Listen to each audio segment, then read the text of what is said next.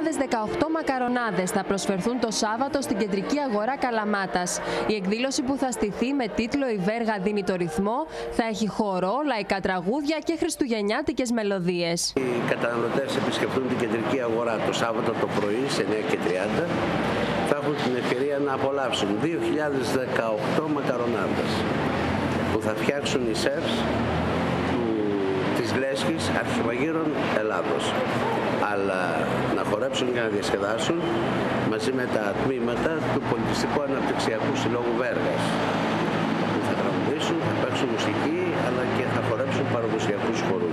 Όσοι επισκεφθούν την κεντρική αγορά θα έχουν την ευκαιρία να διασκεδάσουν με τα τμήματα του Πολιτιστικού Αναπτυξιακού Συλλόγου Βέργας, αλλά και να απολαύσουν μια πικάντικη καλαματιανή μακαρονάδα προσφορά της Λέσχης Αρχιμαγείρων Ελλάδος. Η καλαματιανή μακαρονάδα θα προσφερθεί δωρεάν μαζί με ένα ποτήρι κρασί και θα παρασκευαστεί επιτόπου από τα μέλη σεφ του τοπικού παραρτήματος της Λέσχης. Θέλουμε ο χώρος της κεντρικής αγοράς Καλαμάτας να μετατραπεί σε ένα χώρο προορισμού. Και εκεί στοχεύουμε και εκεί πάμε. Περισσότερα το Σάββατο να μας έρθετε. Special πικάντικη καλαματιανή μακαρονάδα.